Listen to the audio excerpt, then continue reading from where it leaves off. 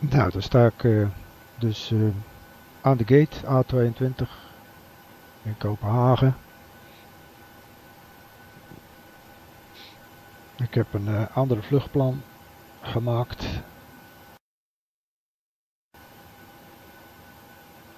Een aantal dagen na het oorspronkelijke vluchtplan. En de, de weersomstandigheden zijn uh, eigenlijk net zo gunstig, of beter nog iets gunstiger, als bij het vorige vluchtplan. Dus uh, we gaan maar eens proberen.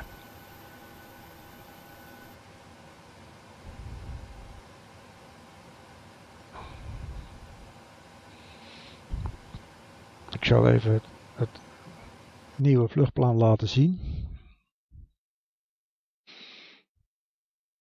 Ik start uh, in deze keer vanaf baan 1-2. En de landing op uh, Vagar is nog steeds op baan 3-0. Dus dat is goed. Ik begin. Een initial altitude is flight level 320. Dus dat is lager als de vorige keer. Total flight plan distance is 781 mijl, dus dat valt toch nog wel mee. Maar niettemin is het uh, ruim 2 uur vliegen. Nou, uh, zero fuel weight is uh, 60,19, dus 60,2. Dus dat ga ik erin zetten. En ik heb inmiddels nog een paar extra vluchten gedaan. Dus door de routine die nu heb opgedaan, kan ik zeggen dat de release fuel van 10.395 is in feite voldoende. En uh, ik ga iets meer laden. Maar uh, het is niet echt noodzakelijk. Nou, ik doe het, het plan nou even weg. Ik heb nog even vergeten dat na de 320, de 320, flight level 320, die hou ik aan tot aan de Noorse kust, waar ik de oceaan op ga. En dat is dus bij Stavanger, Sola. En dan ga ik naar flight level 380.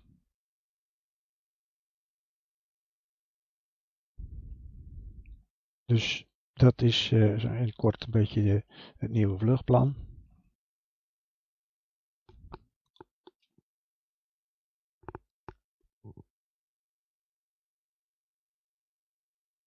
En omdat ik dus ook van een andere baan start, zal ik ook even de, een stukje van de route laten zien. En zo zie je dat uh, de, de SIT is nu gewijzigd, uiteraard. En dat is Mixi 2 Bravo. En die start dus van baan 1-2. En ik ga dus helemaal rond het vliegveld en dan op de oorspronkelijke route richting de oceaan.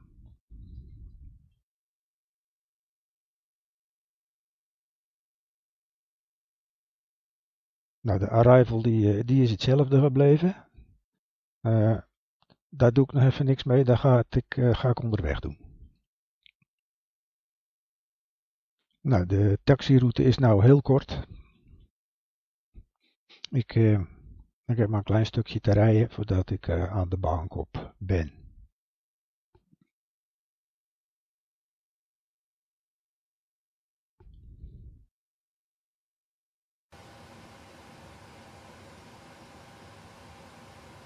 Goed, dus de overname flow. De zero fuel weight was dus 60,2. Payload 60,2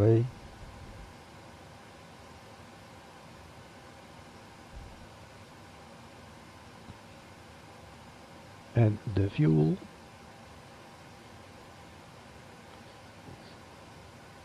die wordt dus, nou laat ik zeggen 11.000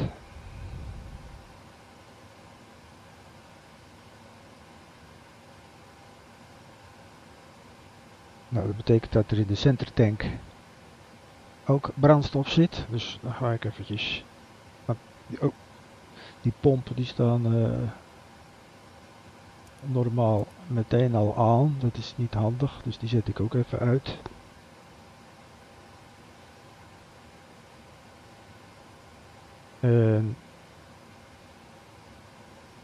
Dan kan ik vervolgens naar de IRS'en.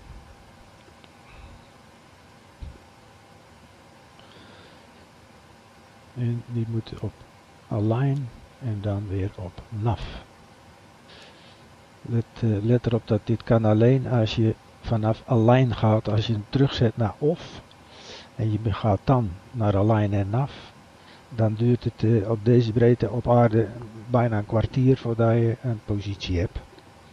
Maar bij de overnameflow is dit voldoende. Eerst align en dan af. Dan vervolgens de cabinedruk. Nou, dan moet ik eventjes uh, de de hoogte instellen en de uiteindelijke kruishoogte wordt dus flight level 380, dus 38.000. En de landing altitude, de elevation op Vagar is 280, dus die moet naar 250. De eerste waarde daaronder die je kunt instellen. Nou, ontstekingsschakelaar omzetten. Dan kunnen we weer naar de CDU. En hij zegt dus al IRS position instellen.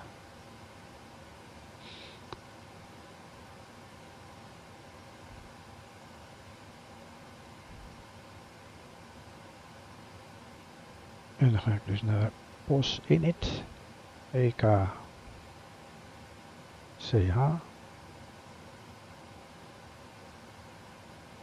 Ik kan gate A22 erin zetten, maar ik vrees dat hij daar niet op reageert.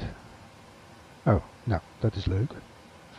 De gate A22. Die heeft dus inderdaad een iets andere positie. EKCH, Ref Airport, Reference Airport, is dus uh, het midden van het veld. En uiteraard moet dan de gate een andere positie hebben. Maar lang niet alle gates in de simulator zitten in de database. Dus uh, je moet niet verbaasd zijn als hij dat niet vindt. Not in database of zo. Nou, ik pak de positie van de rechtse GPS. En die zet ik op de huidige positie. En nou heb ik de positie bepaald. Nou ga ik naar route. En dat moet dus eh, worden EKVG. En dan 01. Als company route. Je kunt hem ook helemaal bouwen in de FMC, dat weten we. Maar dat is uh, op het moment niet zo interessant. Dat heb ik al eerder laten zien. Nou, de departure, dat was dus van baan 1-2. Met als zit heb ik net laten zien, Mixi 2 Bravo. Kijk ik even in de legs pagina om te, te zien of er disco's in zitten. Open stukjes zo gezegd. Nou, de, route, de route gaat nu tot ME en dat is dus op dat eilandje bij uh, Vagar in de buurt.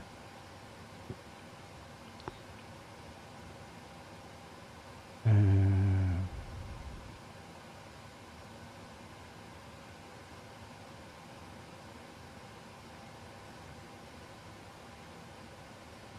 Oké, nou.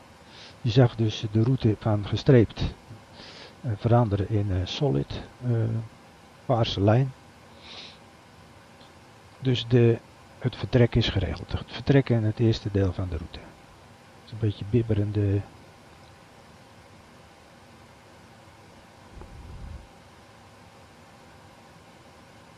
navigatiedisplay. Is even niet veel aan te doen. Ik zet de rechtse CDU ook alvast op de route. En dan kan ik nu naar de, ik zal nog eventjes de alternate destination opgeven. Die is EGPO.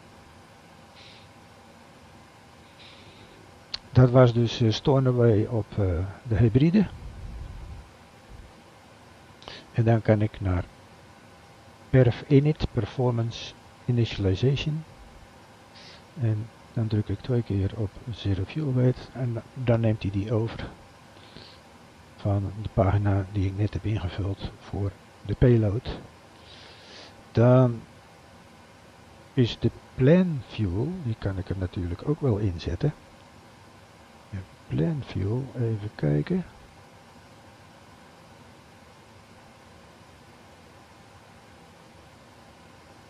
Ja, die is dus eigenlijk 10,3. Ja.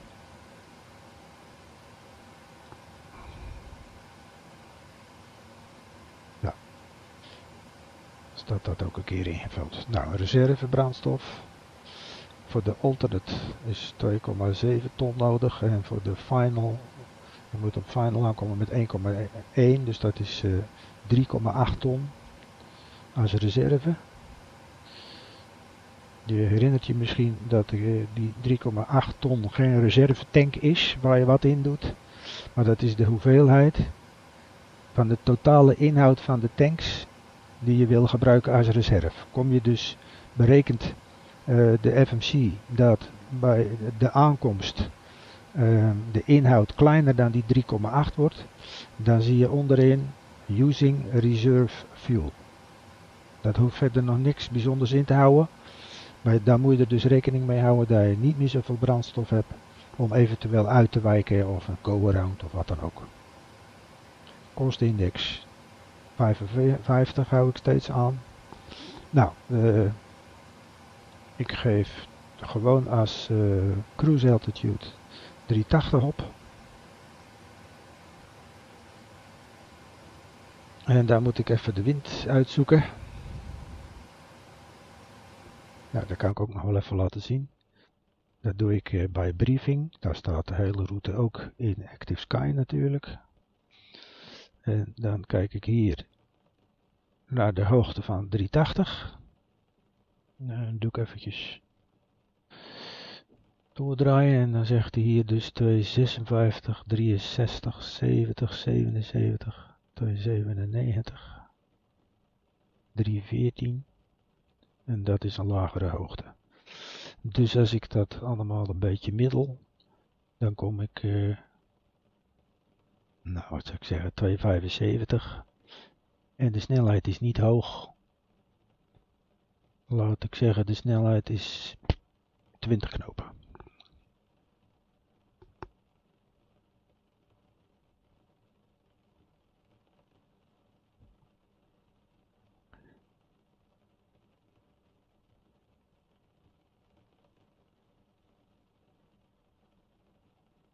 Dus 275 met 20.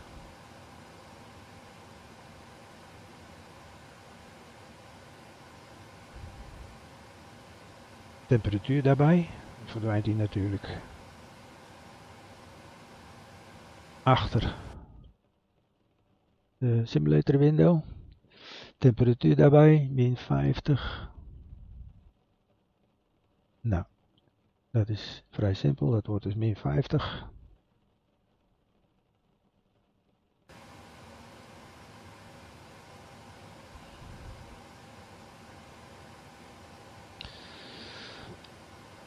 Transition altitude, die haal ik uit uh,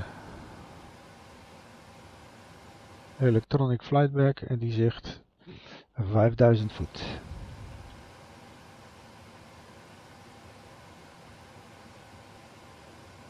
Dat is de in Performance Initialization pagina. Niet vergeten op Execute te klikken.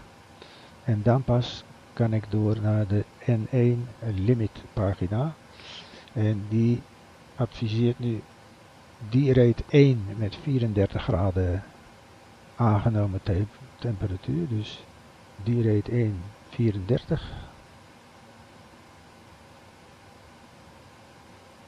En dan komen we dus op een vermogen van 87 procent. Uh, dan kunnen we naar de take-off. En dan is het flaps 1, dat, is, dat berekent het heel vaak, flaps 1. Center of Gravity 23,9, twee keer klikken zoals je zag. Voordat ik de V-speech eh, opgeef, moet eerst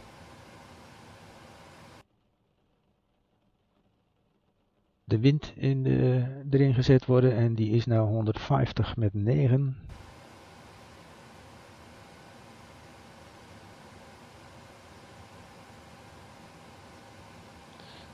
Runway slope is nog steeds altijd 0. Nou, de rest kan ik even zo laten. Acceleration height en thrust reduction en engine out acceleration height. Dat heb ik alles uitgelegd, dus dat is voor nu niet nodig. Nu kan ik wel de V-speeds opgeven.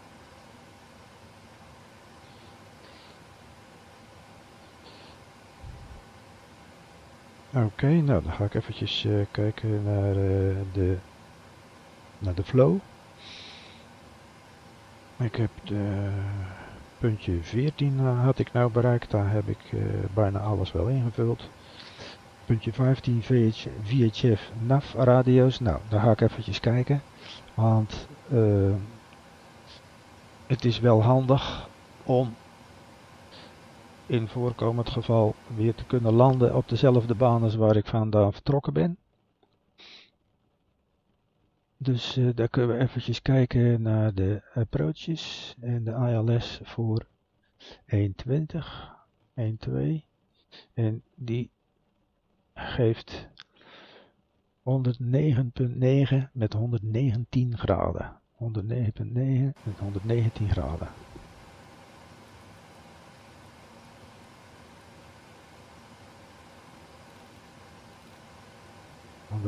Negen. Ik laat hem maar even zo staan. Ik zet hem er pas in als het, uh, als het nodig is. En 119 graden.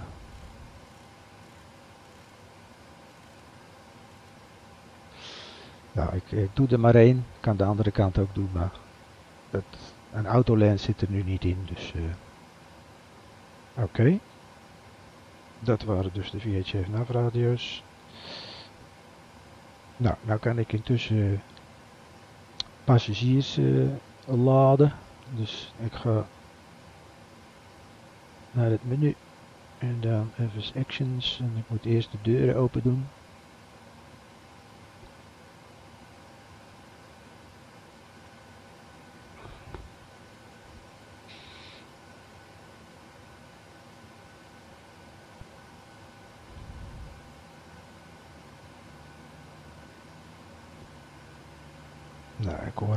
Autootje komen.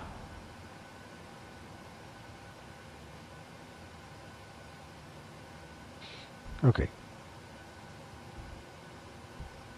Ik neem aan dat dat goed gaat, hoewel ik er niet zeker van ben, want dat GSX die wil eigenlijk werken vanaf een gesloten deur. Ik zal nog even kijken voor de zekerheid. Nou, oké. Okay. Mooi. Dus dat is geregeld. Passagiers komen aan boord. Dan ga ik verder. Uh, dan moet ik naar het EVIS Control Panel. En daar stellen we de QNH in en die is 984. Zo, dat is laag.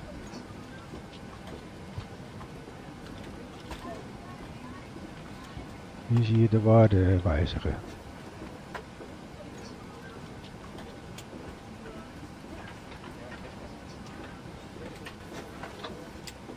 Nee, 84. Dat is eh, QNA. Hij staat al op HPA. Dat, is, dat kunnen we hier al zien. Uh, hier moet ik hem nog eventjes ook op HPA zetten. En daar is hij nu ook 984.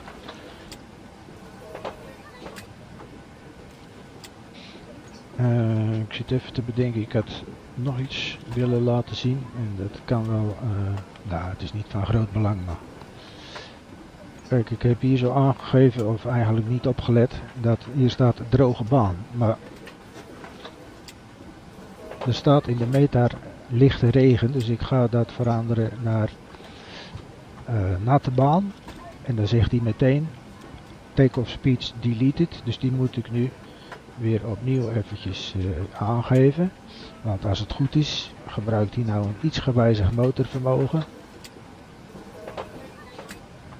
En moet ik dus iets iets meer. Ik geloof dat V2 net uh, 156 was, dus dat is ietsjes gewijzigd nou. Nou, uh, even kijken. QNHTC. Oh, dat is snel. Passagiers zijn allemaal al gezeten.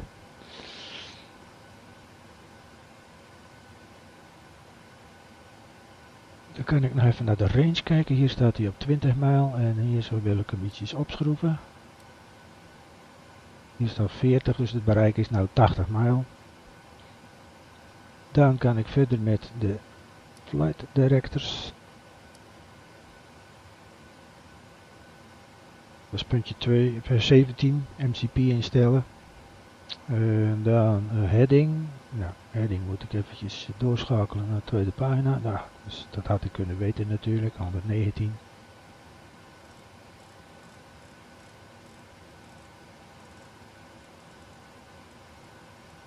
...119. Initial climb altitude op het kaartje is eh, volgens het kaartje 4000 voet.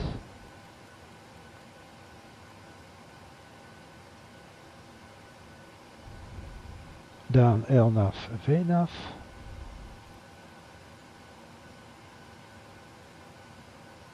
Dan eventjes naar de primary flight display, geen vreemde indicaties.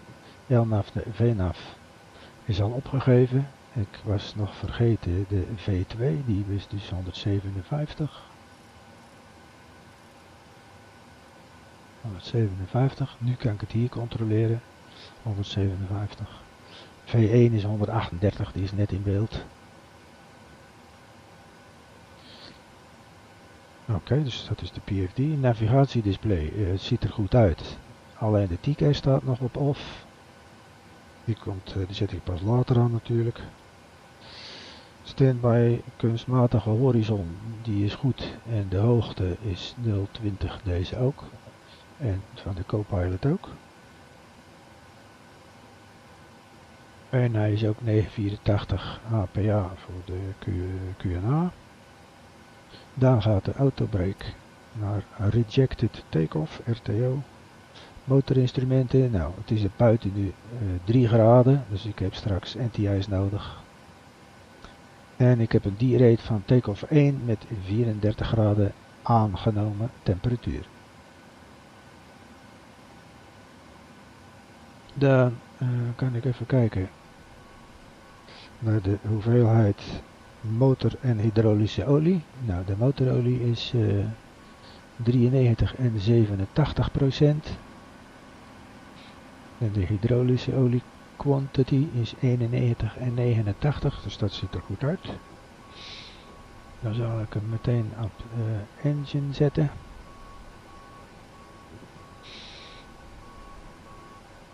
Dan inhoud brandstoftanks. Nou, dat is nog 11 ton, ondanks dat uh, eh, EPU draait, maar die verbruikt niet zoveel natuurlijk.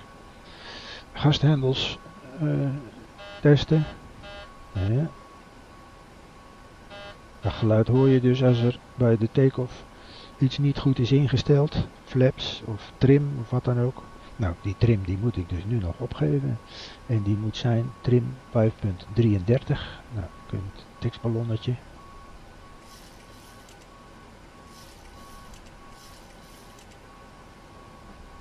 35.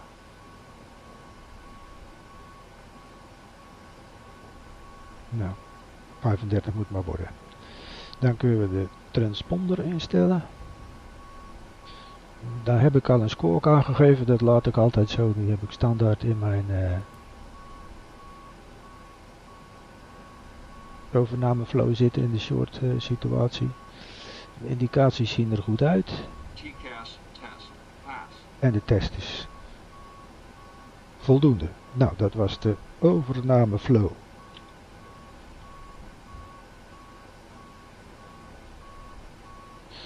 Dan kan ik over naar de before start flow, maar waarschijnlijk moet ik daar nog even mee wachten, want er wordt nog uh, bagage en, en vracht geladen, zo te horen op de achtergrond. Oh, nou. Dat is dus nu gebeurd. Dan kan ik nu de before start flow beginnen. En die zegt uh, de doors, dus nu kunnen de deuren dicht.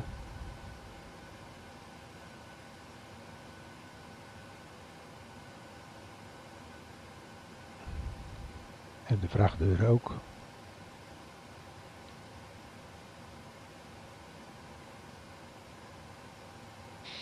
Uh, zal ik even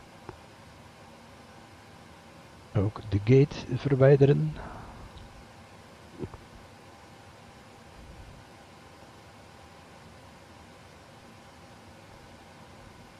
Daar gaat hij.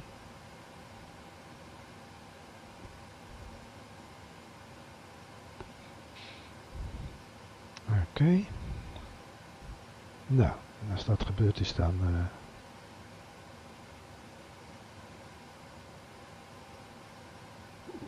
dan, kunnen we, dan kan ik gaan starten en dan kan ik de pushback, hier staat de pushback truck, aanvragen.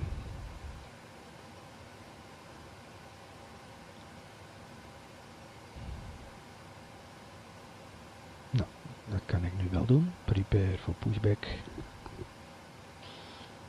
Ik heb geen uh, de-icing nodig. Er ligt geen ijs op de vleugels of zo. Uh, vervolgens moet ik even kijken, pracht GSX, welke kant de neus op moet staan. En de neus moet naar links.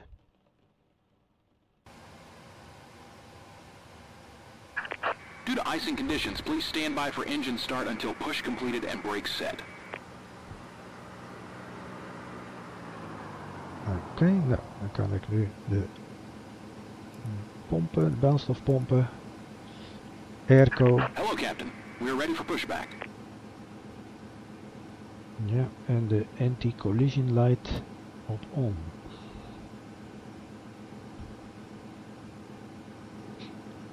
Even kijken. Hij is niet te zien. Locking gear. Het is een beetje een klein uh, karretje.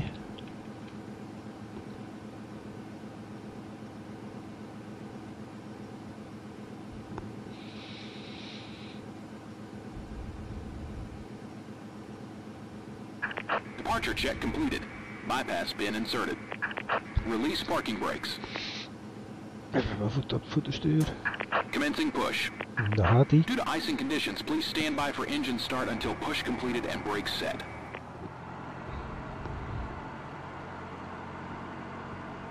Daar gaat hij dus.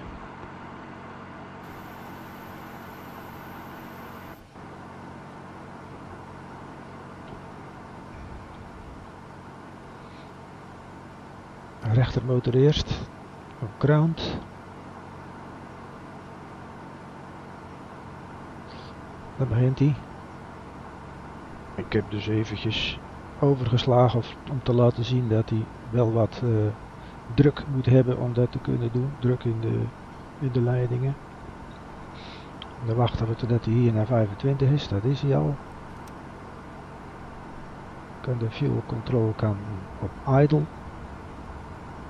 en dan begint de motor al te draaien.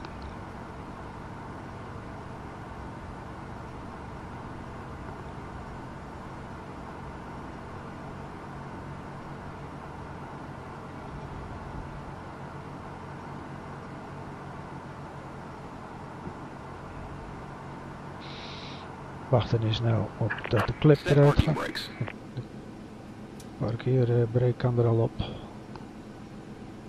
klep is uit, teruggeklipt, terug, teruggeslagen en uh, wachten we even totdat hij op temperatuur is. Dat is dus nu ook, dus dan kan de tweede motor.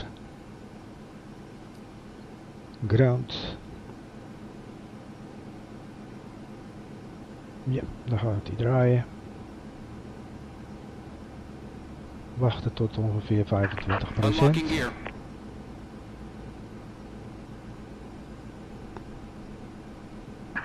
Tow truck disconnected. Bypass pin removed. Daar gaat hij. Controleren. Fuel flow. Ja, daar gaat hij. Uitlaatgastemperatuur loopt op. Prima.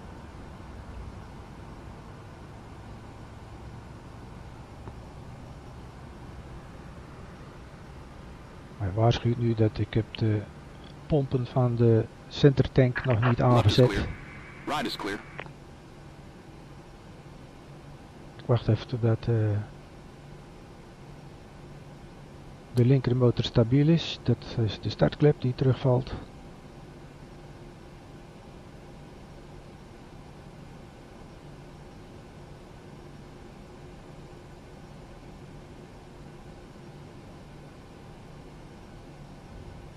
En nou is die stabiel. Even kijken, dat is dus, ja, motorstart is gedaan. Nou, dan ga ik even kijken naar de startschakelaars. Die staan op idle, dat is van de after start flow puntje 1. Dan kan ik naar boven. Dan kan ik als eerste de center tank, de pompen van de center tank aanzetten. Dan de engine generators. Die kunnen op aan. Dan de probe heat. Kan aan. Systeem A hydraulische pompen. De packs kunnen op auto. Een isolation valve op auto. Dan kan ik de bleed van de EPU uitzetten. Dan gaat het lampje dual die gaat uit. Ik laat de EPU nog even aan omdat de temperatuur een beetje kritisch is. Ik zet eh, engine NTI's aan.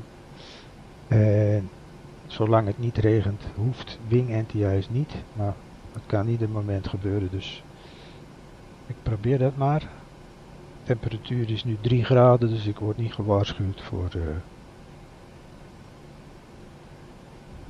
te hoge temperaturen. Nou, dan ga ik eh, in de EPU heb ik eh, net behandeld. Dan ga ik naar puntje 2, 10. Puntje 10, de flight controls.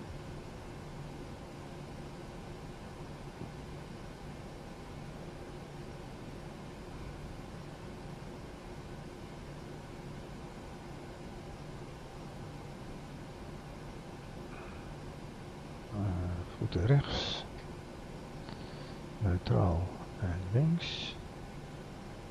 Dat ziet er goed uit.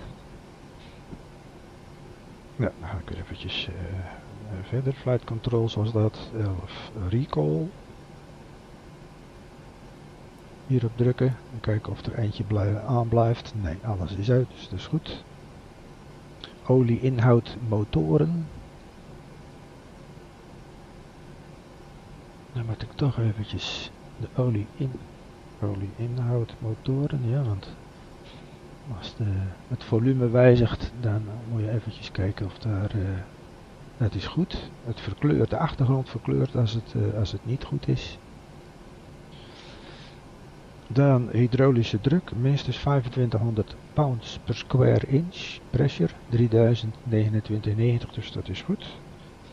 Dan kan ik de flaps, die eh, hadden we bedacht, dat kun je nog aflezen hier. Flaps 1.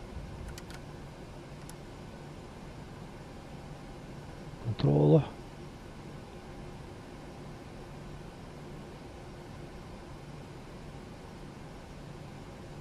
Oké, dan kan de transponder. Kan trouwens eh, deze wel uit. Ah, die in mini vorm. En bij de motorinstrumenten. Deze kan nu op XPDR. De transponder zit dus nu uit. En het taxilight kan op on. Runway turn of lights is niet, niet echt nodig, want ik, eh, ik rij nou bij eh, daglicht, dus dat is niet echt eh, belangrijk.